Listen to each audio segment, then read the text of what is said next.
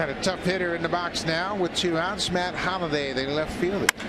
Swings at the first pitch. Escobar dives, gets to his feet on time. Holliday goes after the first pitch and grounds out to the shortstop. Good play by Escobar, and he's played very well all year long in the field. They just moved him to his right. He's got to go back to his left. Strong arm gets Holliday.